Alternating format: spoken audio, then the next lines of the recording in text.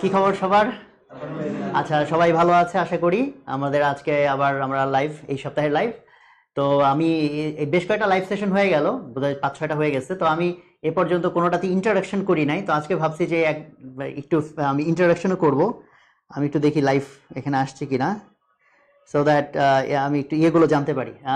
এই কি বলে স্টুডেন্টদের কোয়েশ্চেন টোয়েশ্চেনগুলো সম্পর্কে একটু আমি অ্যাওয়ার হতে পারি। আই এম নট শিওর আমার এখানে এখনও লাইভ খুঁজে পাচ্ছি না।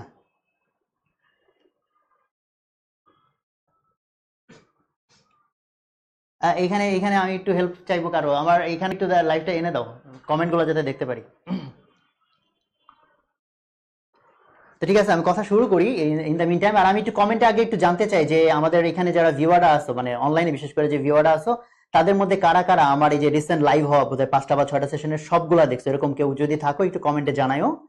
আর যদি সবগুলো না হয় অ্যাটলিস্ট তিনটা বা চারটা দেখছ, সেটা কারা সেটাও একটু জানায়। অ্যাটলিস্ট দুইটা দেখছ কারা, সেটাও একটু জানায়ও। এটা একটু আমার একটা সার্ভে করার ইস্যু আছে, আমি একটু দেখব সেখান থেকে। আর আমি আজকে লাইফটা একটু আমার কাছে দিক কমেন্টটা আমি কমেন্ট থেকে একটু স্টুডেন্টদের কিছু কোয়েরি মানে যেগুলো কোয়েশ্চেন তোমাদের মাথায় এখন বার্নিং কোয়েশ্চেন আছে, সেগুলোর কিছু কিছু জিনিস আজকে একটু অ্যান্সার দেওয়ার চেষ্টা করব। আর লাস্ট দিন আমরা যে ফোর্থ সফটওয়্যার নিয়ে কথা বলছিলাম, ওইটার কানেক্টেড একটু কথা বলব। এটা আজকে আমার প্ল্যান তো আমার মনে হয় যেটা এখন মোস্ট বার্নিং কোয়েশ্চেনটা মনে হয় খুবই অবভিয়াস সেটা হচ্ছে তোমাদের রেজাল্ট হতে আর মাত্র বোধ হয় পাঁচ দিন বাকি না? পাঁচ দিন বাকি তো রেজাল্টের টেনশনে মনে হয় পড়ালেখা করা যাচ্ছে না তাই না? কিছুক্ষণ পর পরই হচ্ছে ব্রেনের মধ্যে নোটিফিকেশন অটো নোটিফিকেশন কাজ করছে হায় হায় রেজাল্ট যদি এই না হয় কি হবে এই যদি না হয় কি হবে পয়েন্ট যদি না আসে কি হবে না? সো মেনি কোয়েশ্চেন্স আর রেজাল্ট খারাপ হয়ে গেলে কি করব? তো এই প্রশ্নের উত্তর বোধহয় এর আগেও আমি কিছুটা টাচ করছিলাম আমার মনে হয় এটা right time to speak about it তো আজকে আবার একটু বলি, এই যে রেজাল্ট নিয়ে ক্রমাগত টেনশনে ভোগা, তাই না? তো এই যে টেনশনে ভুগতেছো তোমরা এবং টেনশনে ভোগার কারণে কোনো কিছুতে কনসেন্ট্রেট করতে পারতেছো না, এটা কি তোমাদের জন্য ভালো হচ্ছে না খারাপ হচ্ছে? খারাপ হচ্ছে। তাহলে এখান থেকে বের হইতে পারলে ভালো। আচ্ছা এরকম টেনশনে যখন মানুষ পড়ে, না, তখনই তার রেগুলার যে পারফরমেন্স সেটাও সে দেখাইতে পারে না। তাহলে টেনশন জিনিসটা অ্যাকচুয়ালি কি? ভালো। খারাপ, ভালো না। তা এবং এই টেনশন কি শুধু এই ইন্টার পরীক্ষার রেজাল্টের আগেই হয়, নাকি লাইফের অনেক অনেক ফেজেই হয়? অনেক অনেক ফেজেই হয়। তার মানে লাইফে তুমি হিউজ টাইম তোমার ইনফিসিয়েন্টলি আনপ্রোডাক্টিভ হয়ে যায় জাস্ট বিকজ অফ টেনশন তাহলে টেনশন যদি কন্ট্রোল করা যাইতো মাথা যদি ঠান্ডা রাখা যাইতো কারণ মাথা ঠান্ডা রাখার সবচেয়ে বড় ইস্যু চলে আসবে ভর্তি পরীক্ষার দিন। সেদিন কি টেনশন তোমার কম থাকবে না সর্বোচ্চ লেভেলে থাকবে? তাহলে তাহলে তোমার পারফরমেন্স খারাপ হওয়ার সম্ভাবনাও সেদিন সর্বোচ্চ লেভেলে সো তাহলে আমাদের এটা তো একটা বোঝা দরকার, শেখা দরকার যে মাথা ভাই কীভাবে ঠান্ডা রাখব টেনশনটাকে কীভাবে আমি মিনিমাইজ করব। তো এগুলোর অনেকগুলো টেকনিক আছে, এক একটা টেকনিক এক একজনের জন্য কাজ করে। তো আমি দুই একটা জায়গা বলি। একটা জায়গা আমি মনে হয় এর আগেও বলছি, সেটা হচ্ছে যে এফোর্টের মালিক তুমি, ফলাফলের মালিক তুমি না। এই কনসেপ্টটা মাথার মধ্যে ঢুকাতে পারা। তো যারা বিলিভার অলরেডি তাদের জন্য খুব সহজ। তারা সৃষ্টিকর্তায় বিশ্বাস করে, সৃষ্টিকর্তা ফলাফলের মালিক সেটা বিশ্বাস করে। তো তাদের জন্য এটা ইজিয়ার যে, ভাই, আমি আমার এফোর্ট দিব। আমি আমার নিজেকে নিয়ে কখন হতাশ হব, কখন ফ্রাস্ট্রেটেড হব কখন টেনশন করব, সেটা হচ্ছে আমি যদি আমার এফোর্ট ঠিক মতো না দিই।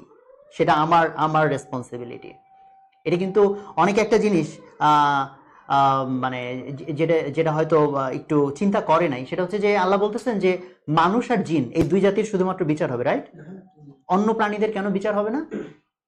অনেকে মনে করে যে বাকি প্রাণীদের বুদ্ধি কম, এই জন্য হয়তো বিচার হবে না। অ্যাকচুয়ালি কিন্তু না, সেটা মূল কারণ না। মানে আমার আন্ডারস্ট্যান্ডিং অনুসারে, সেটা মেবি নট দ্য মানে মেইন রিজন আসছে? আচ্ছা। আমি একটু সরি আমি কন্টিনিউ করব। আমি একটু কমেন্টস বা কোয়েশ্চেনগুলো একটু দেখে নিই। রেজাল্ট নিয়ে টেনশনে আছি, লিখেছে শাওন সৈকত অনিক। হ্যাঁ আমি ভাই জানি যে তোমরা টেনশনে আছো। আচ্ছা এখানে লিখছে মারুফুদ্দিন নাসির যে সবগুলো দেখেছে সে, সবগুলো দেখেছে তারপর কি ভাই আমি টেন সেকেন্ড কন্ট্রোল করতে পারি? আচ্ছা। সেকেন্ড ইয়ার, কি ব্যাপার? চলে চলে যাই কেন?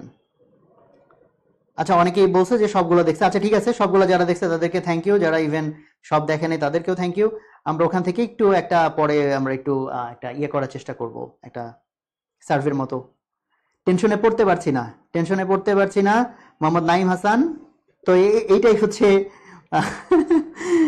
মেইন সমস্যা যে টেনশনে পড়তে পারতেছে না। আচ্ছা ভাইয়া দোয়া করবেন আমাদের জন্য। হ্যাঁ দোয়া তো অবশ্যই করি। সেকেন্ড টাইমারদের জন্য কিছু বলতে বলতেছে সেকেন্ড টাইমার সেকেন্ড টাইমার রেজাল্টের পর কি করা উচিত? তারপর আপনার ভিডিওগুলো আছে, অনেক helpful thank you very much weekly marks নিয়ে কথা বলছে, দিন দিন কমে যাচ্ছে, খুবই হতাশ। আমার সাথে মিট করতে চায় সাব্বির হোসেন জিম, হইতেও পারে কোনো একদিন দেখা। পাঁচ মার্কস কাটবে, তাই অনেক ভয়ে আছে। আচ্ছা টেনশন টেনশন আমি বুঝতেছি মেইন থিম আজকে ধরে ফেলছি। আমার প্রেডিক্টেবল থিম যে সবাই খুব টেনশনে আছে। তো যেটা বলতেছিলাম যে মানুষের জিনের বিচার হবে, বাকিদের কেন বিচার হবে না? তা এখানে যাই বলব না কেন, এগুলো আমার understanding I could be wrong ভুল হইতে পারে। তো আমার আন্ডারস্ট্যান্ডিংটা হতেছে মানুষের জিনকে একটা ইউনিক জিনিস দেওয়া হয়েছে, যেটা বাদ বাকি কাউকে দেওয়া হয় নাই, বা কোনো প্রজাতিকে দেওয়া হয় নাই। বুদ্ধি কিন্তু ইউনিক জিনিস না।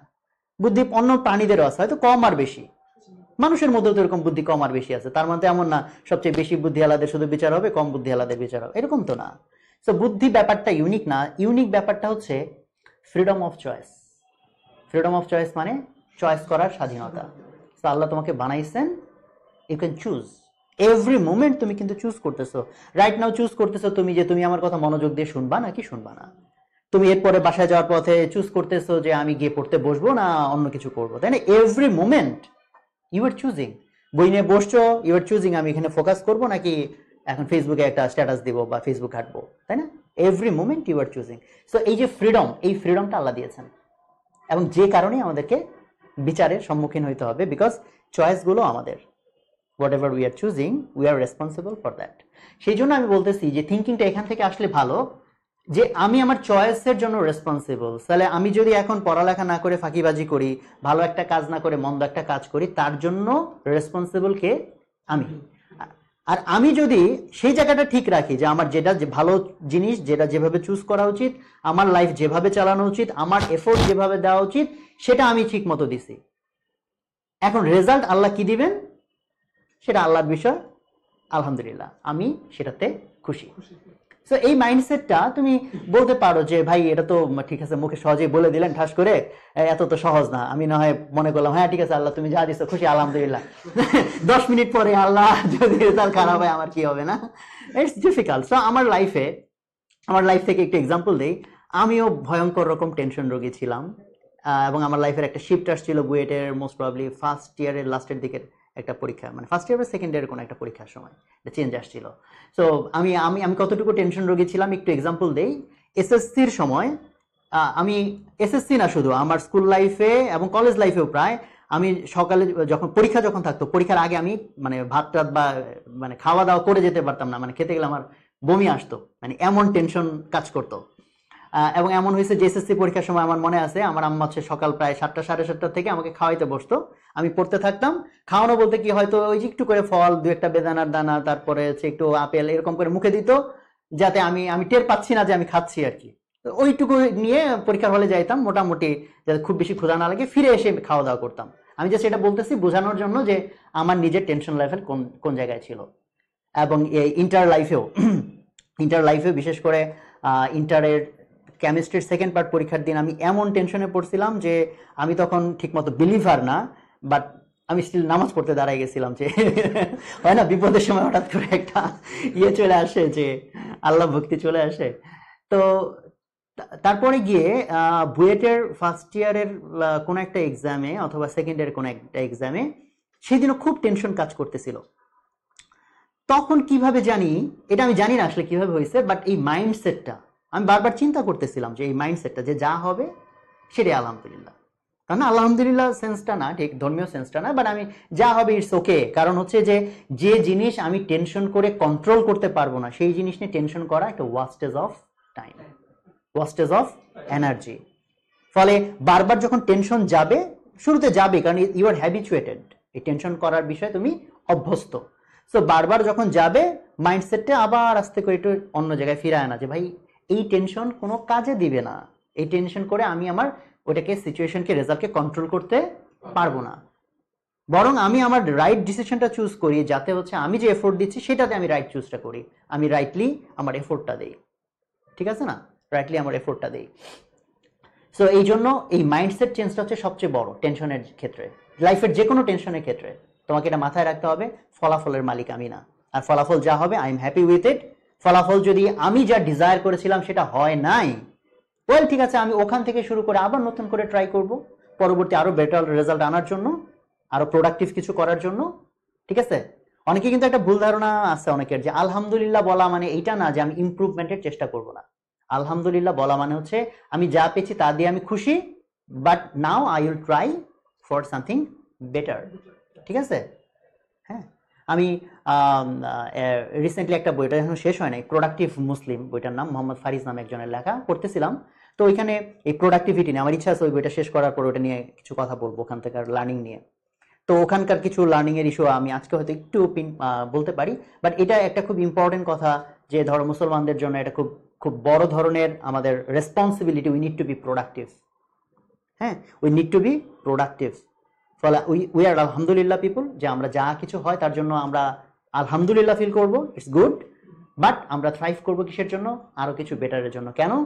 কেন? কারণ হচ্ছে তোমাকে আল্লাহ যে বুদ্ধি দিছে তোমাকে যে এনার্জি দিছে তোমাকে যে টাইম দিছে এই সব কিছু হচ্ছে তোমার জন্য আমানত। ফলে তুমি এটাকে মিস ইউজ করা মানে আমানতকে কি করলা? খেয়ানত। করলা। তো আল্লাহ আমাদের প্রত্যেককে অসাধারণ করে বানাইছে। বাট আমি অসাধারণ কিছু করার ইভেন ট্রাই করতেছি না। এটা আল্লাহর দেওয়া আমানতের প্রতি আমার খেয়ানত হয়ে যায়। তাই না? ঠিক আছে that's why we need to try for it R practical এমনিতে আমি এর বাইরে টেনশন থেকে বের হওয়ার জন্য আর প্র্যাকটিক্যাল কিছু প্র্যাকটিস বলি যেটা আমাকে হেল্প করে অনেকেই হেল্প করার কথা। কিছু ব্রিদিং নিঃশ্বাস নেওয়ার কিছু টেকনিক আছে যেটা ব্রেনকে স্ট্যাবিলাইজ করে। হ্যাঁ? অনেকে ভাবতে পারে এগুলো বোধ হয় কি গাঁজাখুরি কথাবার্তা। সো দ্যাটস ওয়াই তোমার কাছে যাতে এটা সাইন্টিফিক লজিক্যাল মনে হয় এই জন্য আমি একটা লিঙ্ক বলি। লিঙ্কটা হচ্ছে ইউটিউবে তোমরা সার্চ করবা being brilliant in every single day being B E I N G being বা বিং বাদ দিয়ে শুধু যদি লেখো brilliant in every single day এই, এটা একটা এর সার্চ করলে একটা ইয়ে আসবে ভিডিও আসবে, একটা বা দুইটা, দুই পার্টের দুইটা ভিডিও আসবে, যে যিনি কথা বলছেন এটা নিয়ে সেটা, ওনার নাম হচ্ছে Alan Watkins.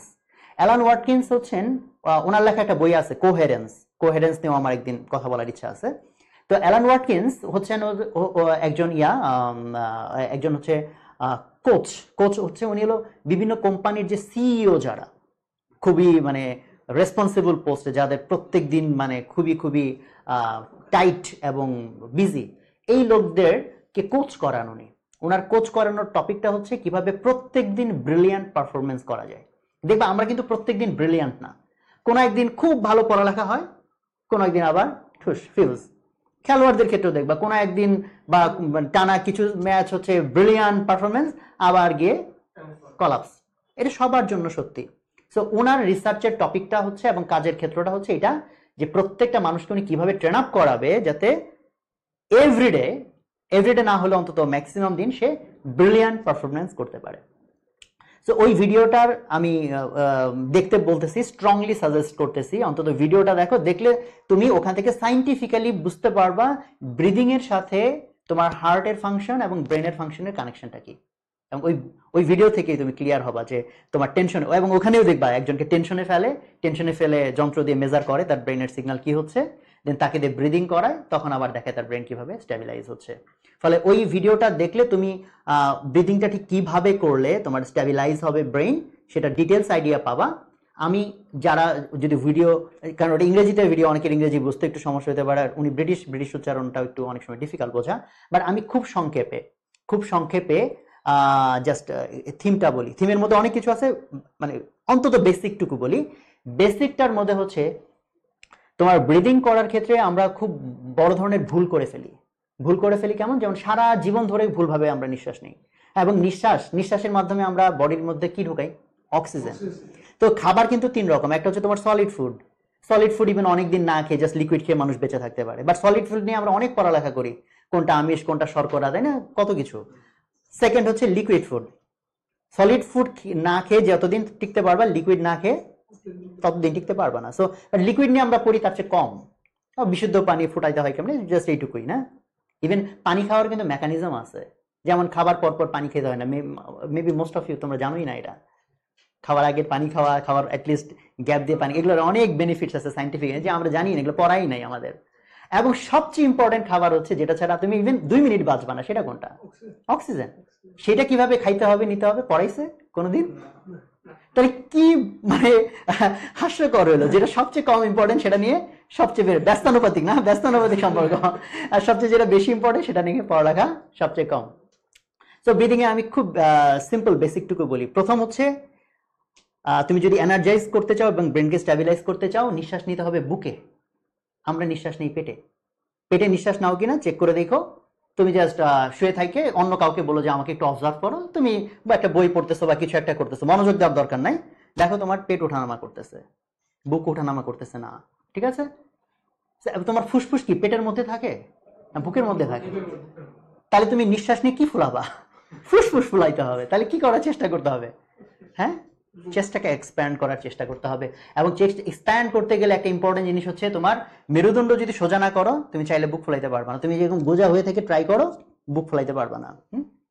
So most of the time তোমার ট্রাই করা উচিত মেরুদণ্ড সোজা রাখার জন্য। বসে থাকলে যদি না পারো, দাঁড়ায় থেকে, যেভাবে পারো। তখন তখন যদি তুমি ব্রিদিংটা করো, তখন তোমার চেস্ট এক্সপ্যান্ডেড হবে।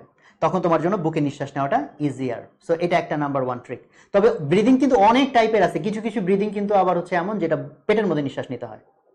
বাট আমি বেসিকটা বলতেছি। বেসিকটা হচ্ছে বুকে নিঃশ্বাস নিতে হবে। নাম্বার টু এখন যেটা বলব this is the most important breathing এর মধ্যে। সেটা হচ্ছে রিদমিক ব্রিদিং নিঃশ্বাস নিতে হবে ছন্দে ছন্দে। ধরো তুমি পাঁচ সেকেন্ড নিঃশ্বাস নিলা, পাঁচ সেকেন্ড ছাড়লা। পাঁচ সেকেন্ড নিলা পাঁচ সেকেন্ড ছাড়লা অথবা তুমি অন্য ছন্দে নিলা। ধরো তুমি তিন সেকেন্ড নিবা চার সেকেন্ড ছাড়বা। তাহলে পরেও তিন সেকেন্ড নিবা চার সেকেন্ড ছাড়বা। তিন সেকেন্ড নিবা। বুঝা গেছে? তবে এখানে বেটার হচ্ছে যতক্ষণ নিবা তার চেয়ে একটু বেশি সময় ছাড়া। হ্যাঁ যদি আমি পাঁচ সেকেন্ড নিই ছয় সেকেন্ড ছাড়লাম। বাট এই রিদমটা মেনটেন করব। এবং প্রথম দিকে তুমি কিছুক্ষণ মানে ধরো কনসিয়াসলি করবা। ধরো দশ পনেরো মিনিট তুমি একদম কনসিয়াসলি এরকম যদি ছন্দে ছন্দে করো আস্তে আস্তে দেখবে এটা অভ্যাস হয়ে যাবে। তারপর দেখবা আস্তে আস্তে তুমি চিন্তা করো না বা অটোমেটিক দেখবা রিদমিক ব্রিদিং হচ্ছে। সো ব্রিদিং নিয়ে যদি আমি আরেকটা সেশন নেই, তাহলে আমার ইচ্ছা আছে এটার এটার ভিতরের ভিতরের সায়েন্সটা কিছুটা ইজি ওয়েতে বোঝানো যে কেন এটা এটা তোমাকে বেনিফিটেড করবে। এরপরে হচ্ছে এই যে ছন্দে ছন্দে যে নিঃশ্বাসটা নিবা, এটা হইতে হবে স্মুথ ধরো আমি বলছি তিন সেকেন্ড ধরে নিঃশ্বাস নিব, তিন সেকেন্ড ছাড়বো। আর তুমি নিঃশ্বাস দিচ্ছ হ্যাঁ ছন্দ মিলানোর জন্য। এটা না এটা না। যেমন ধরো তুমি নৌকা চালানোর ক্ষেত্রে আমরা যে রোয়িং করি অথবা সাইকেল চালানোর ক্ষেত্রে, তুমি যদি স্মুথলি দাও, সাঁতার কাটা ক্ষেত্রে স্মুথলি দাও, তাহলে কি হবে? তোমার ইয়েটা সুন্দর আগাবে। বাট তুমি যদি এরকম এরকম করো, যার, তাহলে মোশনটার মধ্যে কি থাকবে? জার্কিং সো আমাদের ট্রাই করতে হবে স্মুথ ঠিক আছে?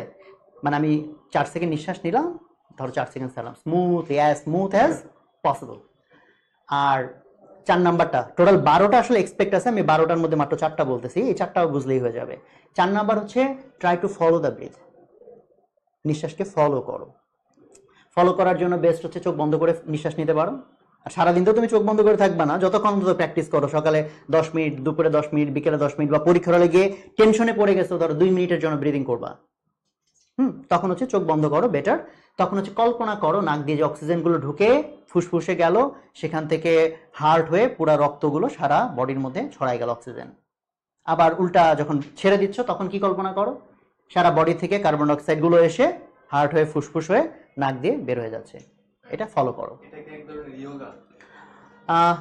এটার ধরো এক এক রকম নাম আছে। এটা এটা এক ধরনের নিঃশ্বাস নেওয়া। এখন সেই নিঃশ্বাস নেওয়াকে এক একজন হয়তো এক এক নামে ডাকতে পারে। তা আমি বলি এটাকে ব্রিদিং নিঃশ্বাস নেওয়া। হ্যাঁ? তো এই চারটা জিনিস অন্তত যদি ফলো করো, আর নিঃশ্বাসটা ওই যে যেটা বলছি ছন্দ, ছন্দের মধ্যে একটু যতটুকু লম্বা ব্রিদিং করবা ডিপ ব্রিদিং করবা বেটার যেমন কেউ ছন্দটা এটাও করতে পারে, এক সেকেন্ড নিলাম, এক সেকেন্ড ছাড়লাম।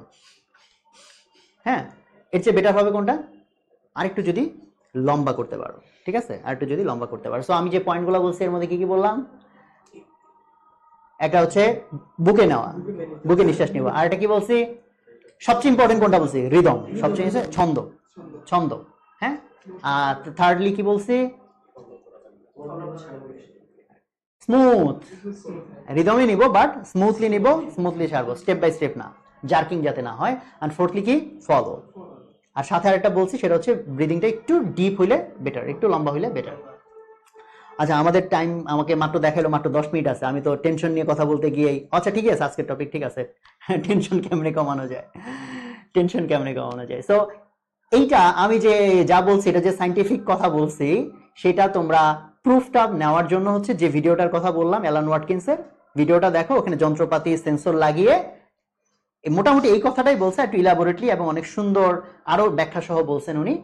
আর ওনার বইতে আরও অনেক এক্সটেন্ডেড জিনিসপত্র আছে টোটাল তোমার ব্রিলিয়ান্ট পারফরমেন্স কীভাবে করা যায় সেটা নিয়ে।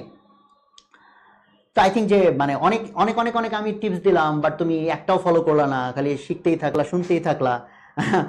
কিছুই আমলে আনলা না, খালি ইমানি বাড়ানোর চেষ্টা করলা, আমলে চলে গেল না সো সেটা কিন্তু গুড না হ্যাঁ? ব্যালেন্সটা কি? আমি জানব, শিখব, এবং সেই নলেজটা আমি কি করার চেষ্টা করব? অ্যাপ্লাই করব অ্যাপ্লাই করে ওটাকে একটা সার্টেন লেভেলে এফিসিয়েন্সিটাকে নিয়ে যাব, ঠিক আছে না? ঠিক আছে? ফলে হচ্ছে আমি সাজেস্ট করি ব্রিদিংটা এখন থেকে ট্রাই করো ইটস হেল্পফুল এবং এটা কিন্তু তোমার মাইন্ডের ফোকাস বাড়ানোতে হেল্প করবে। মাইন্ডের ফোকাস বাড়াতে হেল্প করবে। এবং এখানে আমি আরও কিছু প্র্যাকটিক্যাল টিপস দেই। যেমন ধরো, যে টাইমগুলো তোমার আনপ্রোডাক্টিভ টাইম তুমি এখন হেঁটে হেঁটে বাসায় যাচ্ছ, তখন এই ব্রিদিং করো। তখন আবার চারটা পার্ট মেনটেন করো না যে চোখ বন্ধ করে হাঁটা ধরছি। তাহলে সর্বনাশ না ব্রিদিং আর করা লাগবে না ডাইরেক্ট ওই পার হ্যাঁ? তখন ঠিক আছে, তোমার ব্রিদিং ফলো করার দরকার নাই। ব্রিদিং ফলো বাদে তুমি রিদমটা মেনটেন করো, কারণ তুমি তো কদমে কদমে হাঁটতেছো। তো তুমি চার কদম নিঃশ্বাস নিলা, চার কদম নিঃশ্বাস ছাড়লা। ঠিক আছে না? বুঝা গেছে? যেখানে যতটুকু পারো। তুমি কাজ করতেছো, হঠাৎ করে মনে পড়ছে যে বুকে নিঃশ্বাস নিতে হবে। ঠিক আছে? তুমি জাস্ট দুই মিনিটের জন্য নাও। ওকে তুমি পড়তেছো just take a break for two minutes only দুই মিনিট নিঃশ্বাস নাও। ঠিক আছে?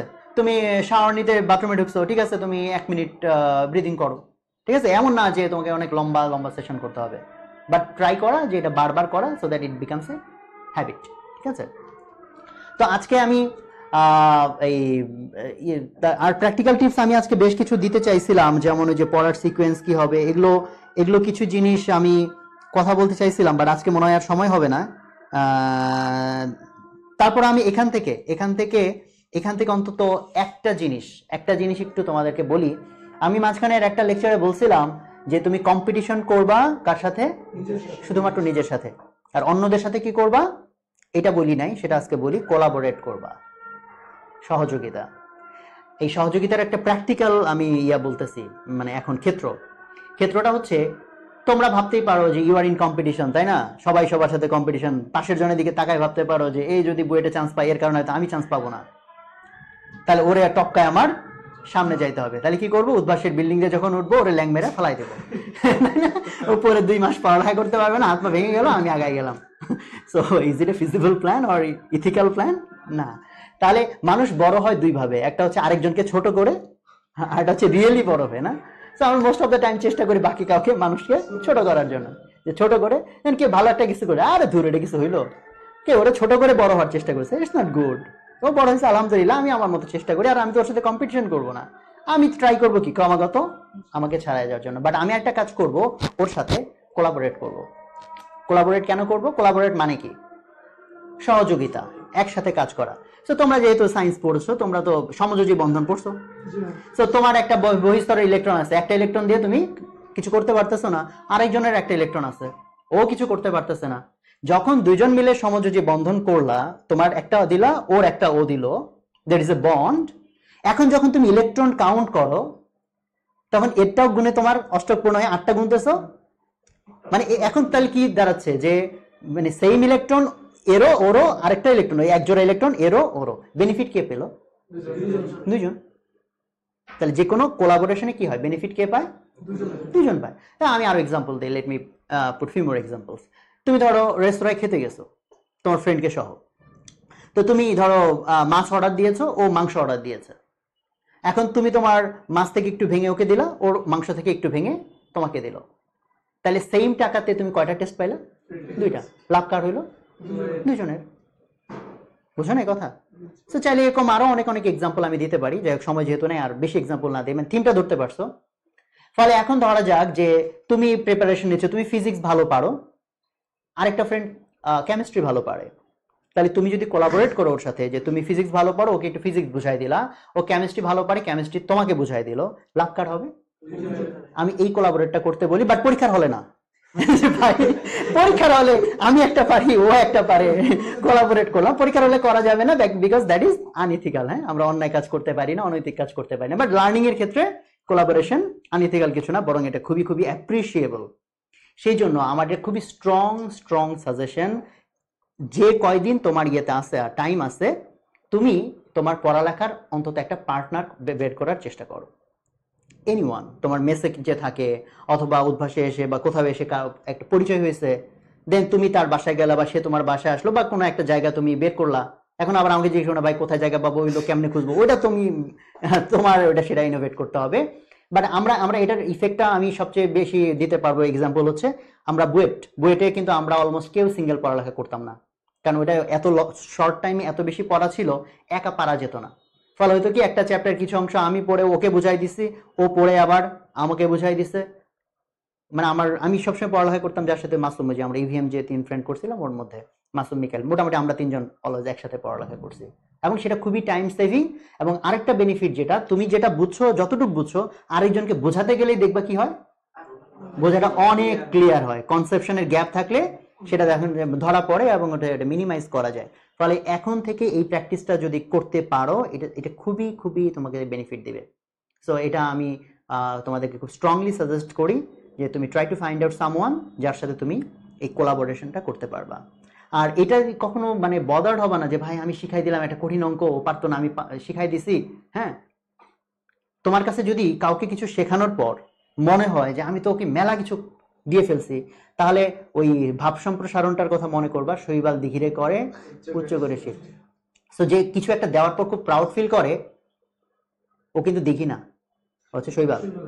তাহলে তুমি যদি কাউকে কিছু দেওয়ার পর খুব মানে নিজের মনে করো, ভাই, আমি তো কুতুব হয়ে গেছি, আমি তো একটা হাতেমটাই হয়ে গেছি তাহলে বোঝা যাবে তুমি এখন শৈবাল আসো দিঘি হইতে পারো নাই হ্যাঁ? দিঘি হওয়ার চেষ্টা করতে হবে না?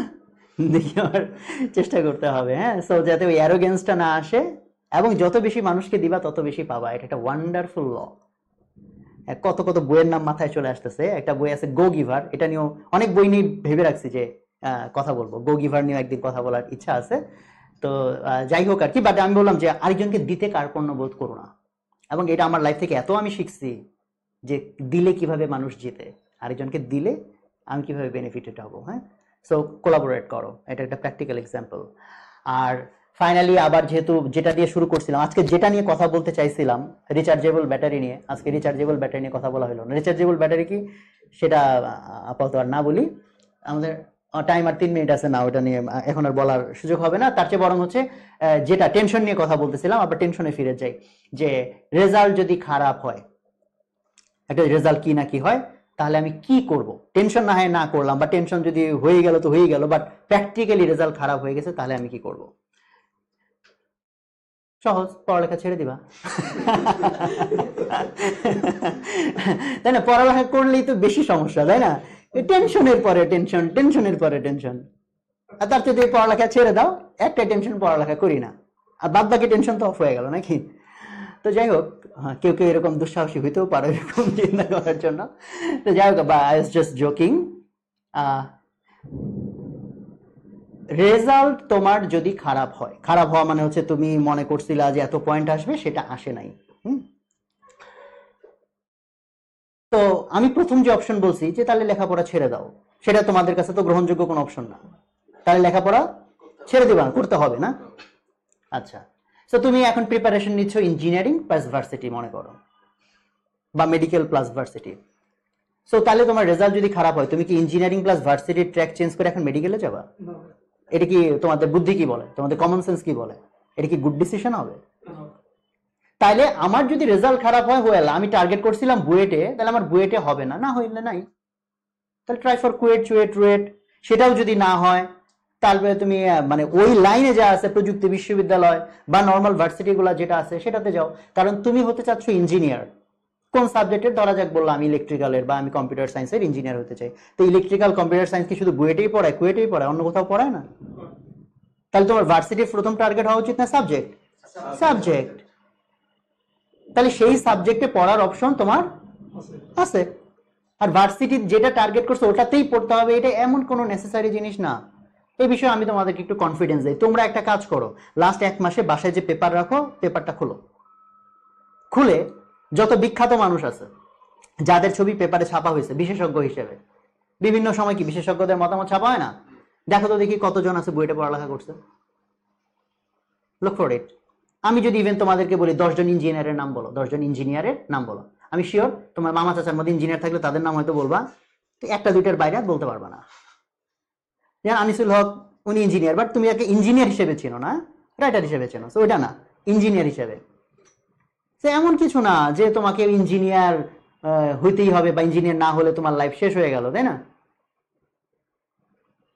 নাকি? তো তাহলে মানে why you are so worried যে আমার ঠিক স্পেসিফিক প্ল্যান যে ভাই একদম বুয়েটাই পড়তে হবে। আমি বলছি তো, কারণটা কি? যে গতদিন বলছি ভাব মারা। ভাব মারা দিয়ে তো আসলে লাইফ হবে না। সো ভাবটা অমিট করে ফেলো প্র্যাকটিক্যাল থিঙ্কিং এ আসো। তুমি লার্ন করতে চাও। তুমি ভাবছিলে বুয়েটে পড়লে লার্নিং এর সবচেয়ে ভালো সুযোগ আসবে? তুমি বুয়েটে স্টুডেন্টদেরকে জিজ্ঞেস করে দেখো ক্লাসের মধ্যে কত পার্সেন্ট স্টুডেন্ট ইয়ে বুঝে লেকচার বুঝে। সেভেন্টি এইটি পার্সেন্ট তো ক্লাস করাই ছেড়ে দেয় লাস্টের দিকে গিয়ে।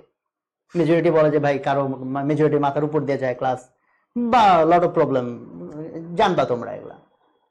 বাট তোমার যদি আসলে শিখতে ইচ্ছাই হয়, এখন ধরো বুয়েটের ক্লাসের চেয়ে মেবি এমআইটির ক্লাসরুমে বেটার লেকচার হয়।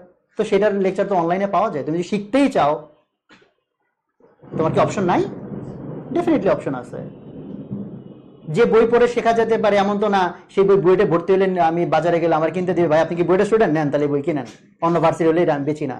ইজ ইট লাইক দ্যাট তাহলে তুমি কি নিয়ে টেনশন করতেছো? প্রথম কথা যে বিখ্যাত ভার্সিটি থেকে সব বিখ্যা- বিখ্যাত মানুষ হয় নাই। এটার প্রমাণ আমি বললাম পেপার খুলে দেখো। যাদের ছবি তুমি বিগত এক মাস কেন, তুমি দরকার দুই তিন মাস ধরে দেখবা, দেখো যে কতজন ছিল বিখ্যাত ভার্সিটিতে পড়ালেখা করছে। তাদের মধ্যে লট অফ মানে পিপল বিখ্যাত ভার্সিটিতে পড়ে নাই, বিখ্যাত সাবজেক্টে পড়ে নাই। এবং মোস্ট অফ দ্য কেস দেখবা যে যারা বরং ট্র্যাডিশনালি যেটা সেট তার বাইরে গেছে, তারাই বরং একটু ওয়ান্ডারফুল বেশি ওয়ান্ডারফুল কিছু করছে। তাই না? তাহলে হইতেও পারে তোমার খারাপ রেজাল্ট হইতেই পারে তোমার লাইফের জন্য তো বড় অপরচুনিটি তুমি জাস্ট জানো না। তুমি জাস্ট জানো না।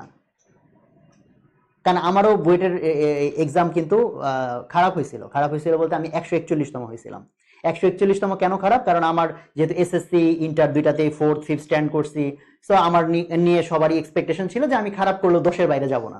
সেই আমি হয়েছি একশো একচল্লিশ এবং আমাদের সময় ক্রেজ ছিল কম্পিউটার সায়েন্সের এবং আমার তো তখন মনে হলো যে আমার তো লাইফ শেষ কম্পিউটার সায়েন্স না পড়লে। এবং আমার এটা মনে আছে, আমি সবার সাথে এই কথাটা শেয়ার করি, আমি যখন ট্রিপুলিতে তো বাধ্য হয়ে ট্রিপুলি নিতে হইল আমার, বাধ্য হয়ে।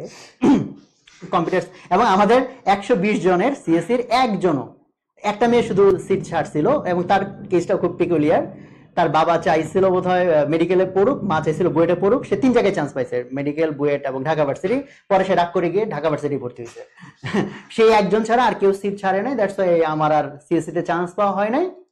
এবং I was so frustrated or ashamed যাই বলো, যে আমি সিএসসি তে পড়ি না ভাই, এটা তো মহাকেলেঙ্কারি বিষয়, কারণ সিএসসি তে পড়া না মানে ও তো ভালো স্টুডেন্ট না। তো আমি আমার বুয়েটের ওয়ান ওয়ানে কোনো খাতার উপর, আমার নাম লিখছি ডিপার্টমেন্টের নাম লিখি নাই। এই কথাটা আমি অনেককে বলি নাই অল্প কিছু মানুষ জানে বাট আজকে আমি বললাম বিকজ আমার কি লজ্জা লাগতো অথবা বলো যে আমার কষ্ট লাগতো যে আমি ট্রিপুলিতে পড়িছি পরে দেখো তার তার জাস্ট এক দুই বছরের মধ্যে কি হয়ে গেল? পুরা আস্তায় ডাউন হয়ে গেল ট্রিপলি টেলকোদের কারণে ট্রিপলি উপরে উঠে গেল তাই না? বাট সেটার কারণে না একে তো হচ্ছে তখন আমাদের ভাব আমাদের বেড়ে গেল অটোমেটিক্যালি যে ট্রিপলি স্টুডেন্ট মানে এরা ভালো স্টুডেন্ট আর সাথে আমার জন্য মনে হয়েছে যেটা অ্যাডভান্টেজ সেটা হচ্ছে ট্রিপলি আর সিএসসির মধ্যে আমার কাছে মনে হয়েছে যে আমি যে অন্য বিভিন্ন কাজ করছি, উদ্যোক্তা রিলেটেড পড়ালেখার সময় এবং আলহামদুলিল্লাহ আমার result throughout BUET life ভালো ছিল, আলহামদুলিল্লাহ। তো সেটা সম্ভব হয়েছে ট্রিপলিতে থাকার কারণে আমার একটা বিশেষ বেনিফিট ছিল কি ট্রিপলিতে আমার কাছে মনে হয়েছে, এটা আমার কাছে, সবার জন্য হয়তো সেম না, যে আমি যদি জিনিসগুলো খুব ভালো মতো বুঝে নেই তাহলে অনেক বেশি প্র্যাকটিস না করলে ভালো রেজাল্ট করা যায়, বা- আমি করতে পেরেছি। বাট সিএসসির ক্ষেত্রে আমার মনে হয়েছে, আমার জন্য বলব, যে সিএসসি রিলেটেড সাবজেক্ট যখন আমি পড়েছি তখন মনে হয়েছে যে ধরো আমি বোঝার, বুঝলাম ভালো বাট এনাফ প্র্যাকটিস না করলে আমার মনে হয়েছে যে রেজাল্ট ভালো করা ডিফিকাল্ট হতো। ফলে আমি যেহেতু বুয়েট লাইফে প্রচুর টাইম দিছি হচ্ছে পড়ালেখার বাইরে এটা সেটা হাবি যাবি বহুত কিছুর মধ্যে। এবং ওই সময় আমি বলতাম যে, আমি পড়ালেখার ফাঁকে বিভিন্ন কিছু করি না, বরং বিভিন্ন কিছুর ফাঁকে মাঝে মাঝে পড়ালেখা করি। বাট ওইটুকু পড়ালেখা করেও আলহামদুলিল্লাহ রেজাল্ট ভালো রাখতে পারছিলাম। আমার কাছে মনে হচ্ছে সেটা একটা বড় কারণ হচ্ছে ট্রিপলিটা আমার কাছে ইজি হয়েছে মানে আমার কাছে ইজি লাগতো। বা আমার কাছে মনে হতো যে, অনেক প্র্যাকটিস না করে অল্প একটু বুঝে নিয়ে আমি ভালো লিখতে পারতাম। সো দ্যাট ওয়াজ এ কি ব্লেসিং ফর মি দুই দিক থেকে ব্লেসিং হয়েছে। এক হচ্ছে ভাব বেড়ে গেছে। ট্রিপল স্টুডেন্ট তাই না? আরেক দিকে কি হয়েছে? আমার জন্য অন্টারপ্রেনিউরাল জার্নিটা তখন আমি লোকজনকে বলতাম যে আল্লাহ এইভাবে তার প্রিয় বান্দাদেরকে সেভ করে। তা তুমি আসলে জানো না কিসের মধ্যে তোমার পজিটিভিটি আছে? তার চেয়ে বড় কথা কি তুমি যা কিছুতে গিয়ে পড়বা তুমি ওটার দিকে যদি পজিটিভ অ্যাটিটিউড রাখো তাহলে ওইটার থেকে তুমি পজিটিভ কিছু বানায় ফেলতে পারবা। কারণ লাইফে সাকসেসফুল হওয়ার একটা রাস্তা নাই কতগুলো রাস্তা? অসংখ্য। তো তুমি যে রাস্তায় গিয়ে পড়ছো রাস্তায় গিয়ে ভাবলা ধর এটা তো পচা রাস্তা ভাঙা রাস্তা এই রাস্তায় আমি কি যাব না যাব? কনফিউজড তুমি হাঁটলাই না। আঁকাইতে পারবে না। আর যদি তোমার একটা রাস্তা একটু ঘোরা রাস্তাতেও গিয়ে পড়ো, যে মেইন রাস্তা, না, এটা একটু মানে একটু লঙ্গার পাথ স্টিল দেন তুমি যদি হাঁটতেই থাকো, হাঁটতে থাকো still then you can reach your goal but তোমাকে সেটাকে কীভাবে নিতে হবে? পজিটিভলি যা কিছু হয়েছে, আলহামদুলিল্লাহ, আমি সেখান থেকে সামনে আগাবো। তাই না?